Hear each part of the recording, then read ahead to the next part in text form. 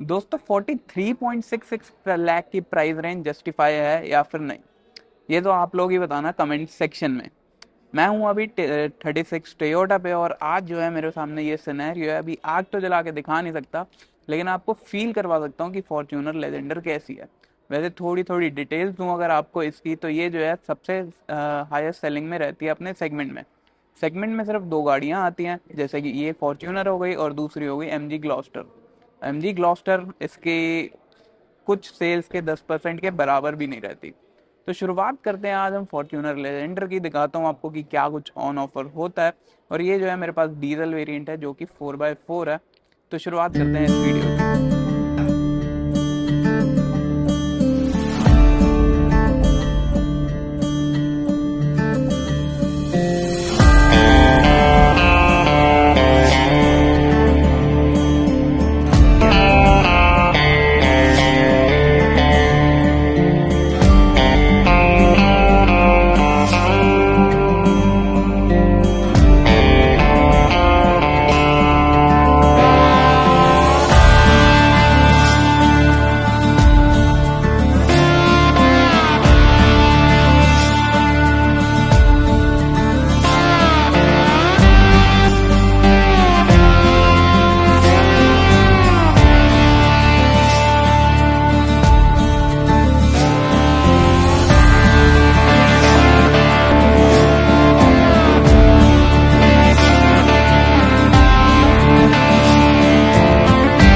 शुरुआत करें अगर हम फ्रंट से तो फ्रंट में आपको जो है कंप्लीट एलईडी का सेटअप देखने को मिलेगा। ये जो है हाई बीम्स है, ये जो है लो बीम्स है। यहाँ पे जो है एलईडी फॉग भी देखने को मिलेगा और साथ ही में आपको फ्रंट पार्किंग सेंसर भी नज़र आते हैं। नीचे जो है आपको इंडिकेटर्स देखने को मिलेगा और ये जो है यहाँ पे डी ऑन ऑफ़र होते हैं। ये सब कुछ लेजेंडर में ही आपको ग्लॉसी ब्लैक ट्रीटमेंट देखने को मिलेगा। फ्रंट फेसिया जो है कुछ इस तरीके का नज़र आएगा। सामने जो है एक बड़ा सा टोयोटा का लोगो देखने को मिलता है और जो है कुछ इस तरीके की यहाँ पे ग्रिल देखने को मिलेगी। नीचे जो है नंबर प्लेट की आपकी जगह आ जाएगी। स्किट प्लेट है अप्रोच एंगल अच्छा खासा है और यहाँ से ही आप देख सकते हैं थोड़ा सा ऑफ़ रोड फील देने की कोशिश भी की गई है। साइड में जो है लेजेंडर कुछ इस तरीके की नज़र आती है।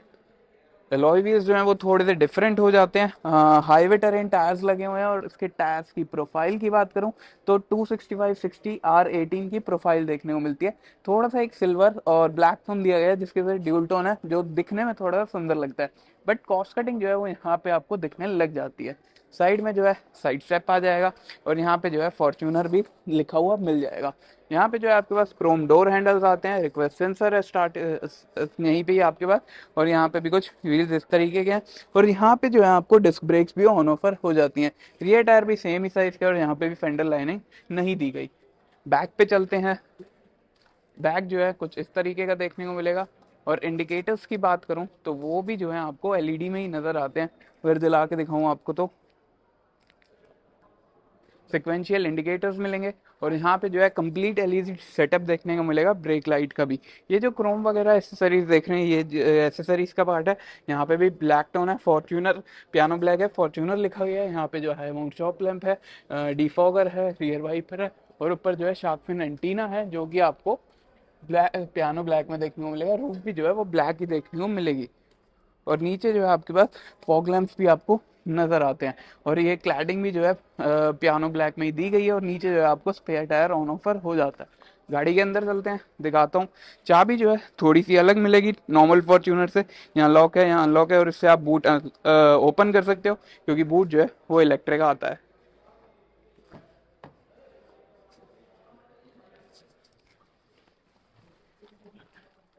और कुछ इस तरीके का हमें डैशबोर्ड लुक देखने को मिलता है।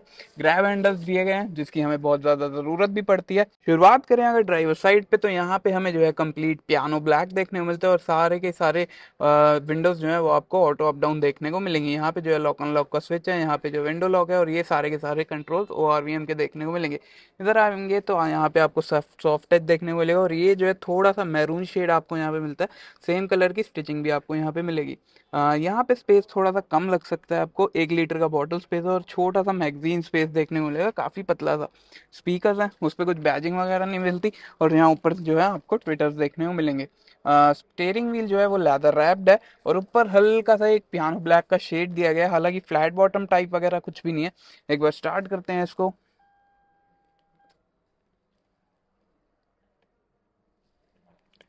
यहाँ पे कुछ इस तरीके की एमआईडी देखने को मिली है। हालाँकि आप लग्जरीनेस तो फॉर्च्यूनर में नहीं इंजॉय कर पाते कभी भी। और यहाँ पे की बात करूँ तो यहाँ पे आपके पास टेकोमीटर है, इधर जो है आपके पास स्पीडोमीटर है, यहाँ पे फ्यूल गेज है, यहाँ पे टेम्परेचर गेज है। बीच में बात करूँ तो बीच में अभी आपको कुछ इस तरीके का नज़र आ रहा होगा। एक छोटी सी एम है, थोड़ा सा जूम करते हैं।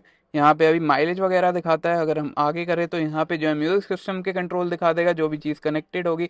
यहाँ पे डोर खुला है, टी पी एम एस वगैरह वो चीज़ें दिखाएगा। और यहाँ से आप जो है सेटिंग्स में एक्सेस कर सकते हो। सेटिंग्स में ज़्यादा कुछ नहीं है वैसे तो। यहाँ पे व्हीकल सेटिंग्स आती है और यहाँ पे मीटर कम्युनिकेशन आता है। व्हीकल सेटिंग्स में दिखा देता हूँ आपको क्या कुछ ऑन ऑफ़र होता है।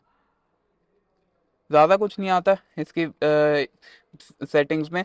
नॉर्मल सी चीज़ें आती हैं और आपको आपको जो है पी आर एन डी वगैरह दिखता रहेगा और इधर उधर जो है कुछ फॉर्निंग लाइट्स भी आपको नज़र आएँगी। यहाँ पे अगर आप आएँगे तो यहाँ पे आपके पास ऑटोमेटिक वाइपर्स हैं, इधर आपके पास ऑटोमेटिक हेडलैम्प्स है। पैडल शिफ्टर्स आपको देखने को मिलते हैं और यहाँ पे आपके पास जो है music system M I D के कंट्रोल है, इससे आप जो है कंट्रोल कर सकते हो। और यहाँ पे आप जो है, आपके पास म्यूज़िक सिस्टम के कंट्रोल हैं। इधर आपको जो है क्रूज कंट्रोल का सेटअप देखने को मिलेगा। और अगर आप स्क्रीन पे आएँगे तो ये बहुत ही बेसिक सी स्क्रीन है। अगर मैं इसका प्राइस पॉइंट पे कर रहा हूँ तो आपको जो है ये स्क्रीन बिल्कुल पसंद नहीं आने वाली। ये जो है इसका होम है, जैसे कि मैंने दबाया ये जो है इसका होम है, यहाँ से आप जो है मेन्यू में भी जा सकते हो। ये कुछ छोटा सा इसका मेन्यू है। यहाँ पे आप एप्स वगैरह देख सकते हो, इसमें जो स्मार्ट लिंक वगैरह कनेक्टेड कार्ट एक आते हैं, वो वाला। और यहाँ पे फ़ोन से रिलेटेड और सेटिंग्स में दिखा देता हूँ आपको। नॉर्मल सी बेसिक सी सेटिंग्स है, ज़्यादा कुछ इसमें है नहीं।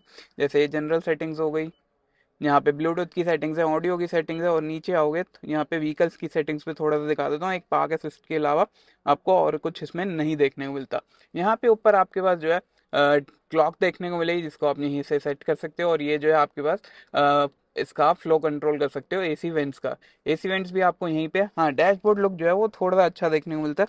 इधर आओगे तो यहाँ पे आपके पास पैसेंजर एयरबैग्स वगैरह वाली चीज़ें देखने को मिलेंगी और यहाँ पे ऑटोमेटिक क्लाइमेट कंट्रोल देखने को मिल जाएगा। ड्यूल जोन क्लाइमेट कंट्रोल है।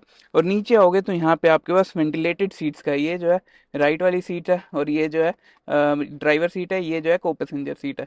यहाँ पे जो है आपके पास यू एस बी है एक और यहाँ एक ट्वेल्व का सॉकेट देखने को मिलेगा। वायरलेस चार्जर आता है जो कि थोड़ा सा आ, मुश्किल है यूज़ करना। और यहाँ पे आपके पास दो कप होल्डर्स देखने को मिलेंगे और ये जो है एक अलग फिनिश आपको देखने को मिलती है जो कि सुंदर नज़र आती है। ये जो है ऑटोमेटिक गेयर बॉक्स है और यहाँ पे आपको मोड्स देखने को मिलेंगे। मोड्स में दिखा देता हूँ कि यहाँ पे कुछ चेंज आता है या फिर नहीं जैसे कि अभी इको मोड पे डालते हैं। तो ऐसा कुछ देखेगा नॉर्मल पे जो है, ऐसा कुछ देखेगा और स्पोर्ट पे जो है थोड़े बहुत हल्के से रेड इंसर्ट्स आ जाएँगे। और यहाँ पे जो है आपके पास एक ट्रैक्शन कंट्रोल ऑन ऑफ़ का बटन देखने को मिलेगा। और यहाँ पे आपके पास एक ग्लोब बॉक्स है, काफ़ी बड़ा सा और इसमें वैसे तो कुछ है नहीं। और इस ग्लोब बॉक्स की बात करूँ तो यहाँ पे भी आपके पास एक बड़ा सा ग्लोब बॉक्स देखने को मिलेगा और यहाँ पे भी आपके पास एक ग्लोब बॉक्स है, जिसको आप जो है लॉक भी कर सकते हो। ये शायद जो है अभी लॉक है। चाबी वगैरह से इसको लॉक भी कर सकते हो। यहाँ आएँगे तो यहाँ पे आपके पास एक वैनिटी मिरर देखने को मिलेगा, जो कि लाइट के साथ आता है। और यहाँ पे आपके पास जो है कंट्रोल्स हैं सारे लाइट्स वगैरह के। और यहाँ पे आपके पास एक सन ग्लास होल्डर देखने को मिलेगा। सनरूफ आती नहीं है, इससे सनरूफ के कंट्रोल्स वगैरह जो है, नहीं मिलेंगे। एलईडी लाइट्स देखने को मिलती हैं और यहाँ पे जो है आप डोर की सेटिंग पे कर सकते हो। यहाँ पे आपके पास automatic I R V M देखने को मिलता है और इधर भी आपके पास एक वैनिटी मिरर और साथ में जो है एक लाइट ऑन ऑफ़र हो जाती है। गाड़ी के पीछे चलते हैं, दिखाता हूँ क्या कुछ मिलता है। इधर जो है आपके पास कुछ भी नहीं मिलेगा, एक हैंड्री लीवर ही है। सीट्स की बात करूँ तो वो जो है इलेक्ट्रिक आती हैं, आप इलेक्ट्रिकली इसको एडजस्ट कर सकते हो। और स्टेयरिंग व्हील की बात करें तो स्टेयरिंग व्हील जो है मैनुअली आपको एडजस्ट करना पड़ता है। टिल्टेबल और टेलीस्कोपिक दोनों ही एडजस्टमेंट आपको देखने को मिल जाती हैं। इधर जो है आपके पास एसी वेंट है और हाँ ये जो है सारा का सारा सॉफ्ट टच आपको नज़र आता है। ऊपर जो है थोड़ा सा हार्ड टच है, ये बट यहाँ पे जितना भी है, ये सारा सॉफ्ट टच देखने को मिलेगा। यहाँ पे अगर दिखाना भूल गया हूँ, यहाँ पे आपके पास जो है कैन होल्डर्स देखने को मिलेंगे। नीचे आओगे तो पार्किंग चार्म ऑन ऑफ़ को यहाँ पे आप जो है बूट जिस, जो स्वाइप आप करके खोल सकते हो, वो ऑन ऑफ़ वगैरह कर सकते हो।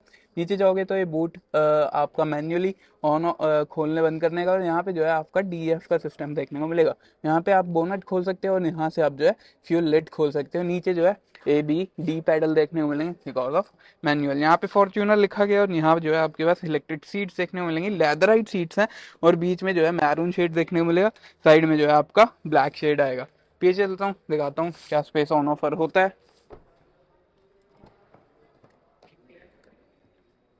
अब इस सीट्स को आप जो है रिक्लाइन वगैरह भी इसका सेट कर सकते हो। अभी जो है बिल्कुल एकदम स्ट्रेट उस पर यहाँ से आप वन टच टम्बल डाउन कर सकते हो। अभी नॉर्मल इस पर दिखा देता हूँ कि कितना स्पेस ऑन ऑफ़र मिलता है और साथ में दिखाता हूँ आपको एमेनिटीज एक ग्रैब हैंडल की नीड हमें यहाँ भी पड़ती है। हालाँकि यहाँ पे जो है ग्रैब हैंडल दिया गया यहाँ पे डोर की बात करूँ तो यहाँ पे भी आपको पियानो ब्लैक और सॉफ्ट टच देखने को मिलेगा और नीचे जो है आपके पास एक लीटर का बॉटल स्पेस देखने को मिल जाएगा। इधर जो है आपके पास फ़ोन रखने की जगह है और एक टाइप सी दिया गया है और दूसरा भी टाइप सी है। टाइप ए नहीं देखने को मिलेगा। एक हुक यहाँ देखने को मिलेगा आपके पास, एक हुक यहाँ पे देखने को मिलेगा। ऊपर की बात करें तो एसी वेंट्स हैं, यहाँ साइड में ग्रैब हैंडल देखने को मिलेगा, यहाँ पे आपको रीडिंग लैंप्स देखने को मिल जाएँगे जो कि एलईडी है, यहाँ से आप डोर की सेटिंग पे कर सकते हो। और यहाँ पे भी आपका एक अलग क्लाइमेट जोन देखने को मिलेगा, जो कि आप ऑटो पे भी डाल सकते हो और मैन्युअली भी इसको एडजस्ट कर सकते हो। इधर एक हुक है और इस साइड भी एक हुक आपको देखने को मिलेगा। सीट बेल्ट की बात करूँ तो सारी जो है थ्री पॉइंटर है इवन थर्ड रो वाली भी। अभी जो है थर्ड रोड फोल है आ, लेकिन मैं अभी स्पेस नहीं दिखा सकता। बीच की बात करें यहाँ पे तो इसको निकालने के लिए एक स्पेस दिया जाना चाहिए था या कोई लूप दी जानी चाहिए थी इस आमरेस्ट को निकालने के लिए। यहाँ पे एक आमरेस्ट है और यहाँ पे दो आपको कप होल्डर देखने को मिलेंगे इसके अंदर। बूट स्पेस की बात करें तो यहाँ से आप जो है मैन्युअली भी इसको बटन के साथ भी ऑन ऑफ़ कर सकते हो। इलेक्ट्रिक बूट आपको देखने को मिलेगा और यहाँ पे जो है सेवन सीट्स अप के साथ कुछ इतना बूट स्पेस आपको देखने को मिलेगा।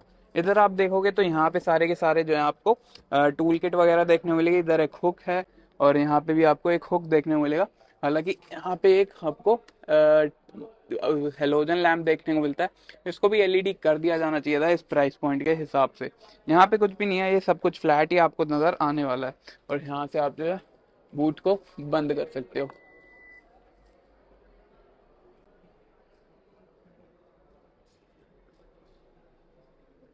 तो ये कुछ था फॉर्च्यूनर लेजेंडर के बारे में।